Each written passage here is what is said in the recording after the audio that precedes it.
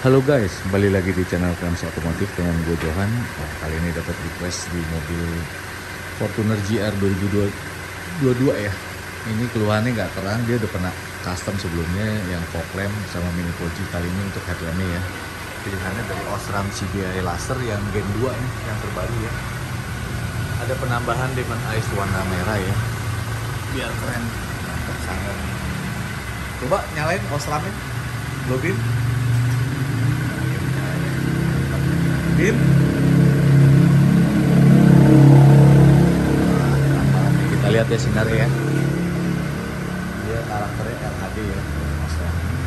Coba Din. Itu ada laser tambahan. Mainin Dinnya mainin. Sip. Jadi itu juga ada tambahan dari Mini Proji ya. Dia pernah pasang Mini Proji. Oke, Thank you ya customernya, gue nggak sebut nama, thank you udah custom di Clamps Kalian kalau yang mau upgrade custom lampu bisa langsung datang ke Clamps Otomotif Jangan lupa follow, like, dan subscribe channel-channel kita ya guys. Thank you